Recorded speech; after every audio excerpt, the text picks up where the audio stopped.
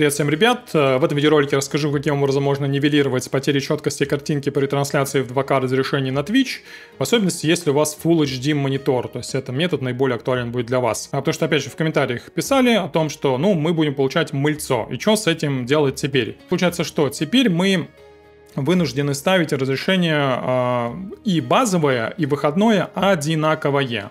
То есть, если у нас Full HD монитор, мы ставим 2048 на 1152 и здесь, и здесь. Почему именно это разрешение, тоже поясню для тех, кто не в курсе. То есть, это разрешение наиболее оправданное по ряду причин. Первая причина, самая важная, опять же, это а, уменьшение потери четкости при масштабировании. Наша основная задача указать наиболее близкое разрешению к Full HD. Дальше это разрешение а, истинное, то есть чисто технически оно правильное, потому что оно кратное 8, там 16, ну и это обусловлено принципом кодирования видео просто. Дальше следующий момент это уменьшение нагрузки на видеокарту, то есть тогда, когда, получается, стримите именно с этим разрешением, они 2560 на 1400 340.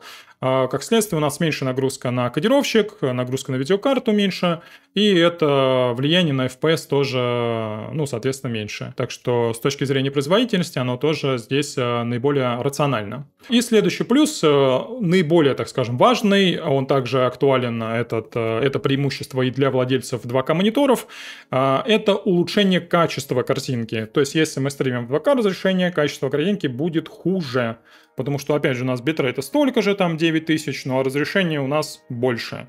А, соответственно, битрейта, ну, тоже в теории нужно увеличить, тоже указать больше. Но битрейт у нас статичный, у нас CBR битрейт. И здесь это вот все то же самое, как, знаете, мы вот там использовали разрешение 936p, какие-нибудь там 720p ставили, 900p, вот эти все возможные уменьшения разрешения с целью того, чтобы улучшить качество картинки. Что наиболее актуально в основном как раз именно для динамичного контента, каких-нибудь шутеров графонистых, где картинка там с битрейтом, э, ну, даже вот 9000 вот на данный момент, она будет выглядеть все равно плохо. То есть, э, получается, если у вас 2К монитор, вы тоже можете использовать это разрешение, но, понятное дело, у вас будет больше мыла. И там вы уже можете поэкспериментировать, какие-нибудь вот эти вот разрешения указать. Я оставлю ссылку на этот сайт. В общем, для владельцев HD монитора вот это разрешение наиболее оптимальное.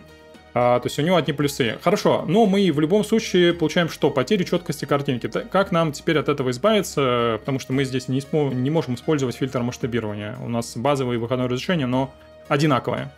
Все очень просто. Мы теперь применяем фильтр масштабирования к источникам. Да, я там перепробовал всевозможные варианты, и, в общем, не работает фильтр масштабирования, если мы его применяем к сцене тоже можно так сделать в OBS, именно применить э, именно к сцене фильтра масштабирования какой-нибудь метод Lancer. Это не сработало.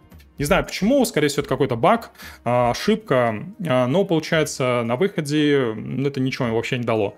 А вот если мы применяем фильтр масштабирования к именно источнику, Источники какие здесь для нас наиболее актуальны? Это, во-первых, захват игры, захват экрана и веб-камера. То есть ко всем этим источникам мы применяем фильтр масштабирования. То есть вот у нас есть Game Capture, то есть фильтр масштабирования, и вот используйте либо метод Лансаша, либо бикубический. Лансаша обеспечит просто более высокую четкость картинки, бикубический всегда вот считается, не знаю, там, сбалансированным, но на самом деле разницы с точки зрения, опять же, там, производительности никакой нету, а, потому что это все обрабатывается за счет ресурсов видеокарты, так что что можете совершенно спокойно юзать Лансаша. Ну, если вам прям так сильно хочется бикубически, то ради бога. А, в общем, визуально вы вряд ли какую-то разницу вообще заметите. А, и получается, да, вы используете к игре, к веб-камере и, например, там захват экрана. Если у вас не так много источников, то вы можете просто создать группу. То есть нажимаете здесь плюсик, создаете группу, создается такая папка, и просто все эти источники перемещаете в папку к эту. И применяете фильтр масштабирования уже к папке. И все источники, которые находятся в папке, они будут уже с, э, ну, с фильтром масштабирования работать. Что касается результата, в описании под видеороликом я размещу ссылку, ну, вот на этот скриншот, где вы ползунком можете посмотреть, там увидеть разницу, не знаю, там открыть скриншоты в новой вкладке, тоже почекать все дело, посмотреть. Ну и раз я уже записываю видео, тоже давайте проясню именно в нем о том, что в теории, если вы стримите в 2К разрешение, то вот эта дорожка 1440p 60 fps, она должна отображаться без средства обхода блокировки. В теории. А, то есть, например, вот в Турции, да, то есть я включал там под, под Турцией, да, и в Турции тоже, ну, как бы нет поддержки а, 2К разрешения. То есть сами зрители, они не могут смотреть стрим в 2К, им нужно запускать тоже средства обхода блокировки.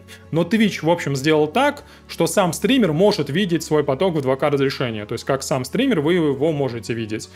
И, в общем, э, короче говоря, для России это не работает, потому что у нас такой глобальный стоит э, ограничение, такой э, глобальный блок. И получается, в любом случае, ну, мало ли, может, вы где-то прочтете о том, что вот вы, как сам стример, можете это видеть, нет, на самом деле не можете. То есть я заходил под, опять же, Турции и видел, да, то есть я вижу, что мой стрим работает в 2К, то есть я как стример. Выхожу из своей учетной записи, 2К уже не отображается, но для меня как стримера отображается, а вот для России, ну, ничего не прокатило. Ну, в общем, все, что хотел рассказать в этом видеоролике, какие-то вопросы будут пишите в комментариях. Э, всем удачи, всем пока!